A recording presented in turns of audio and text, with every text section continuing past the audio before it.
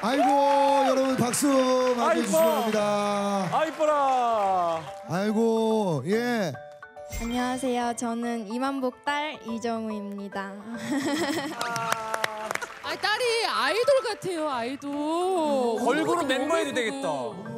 너무 이뻐요. 감사합니다. 네. 오늘 아빠 이렇게 어, 멋진 모습 보여주고 있는데 쭉 관람했잖아요. 어떠셨어요? 무대에서 아빠 멋진 모습 보니까 너무 자랑스럽고 멋져요, 아빠. 아 아빠 좀 학교 안 왔으면 좋겠어 했던 이유가 좀 좀 힘들었어요 학교에서? 네.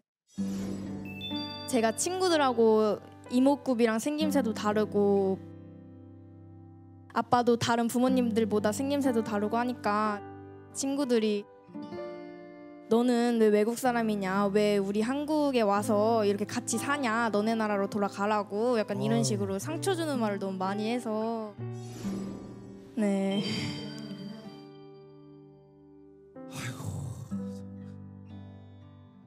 그리고 방송에 이제 같이 나가고 지금은 분위기가 어떻습니까?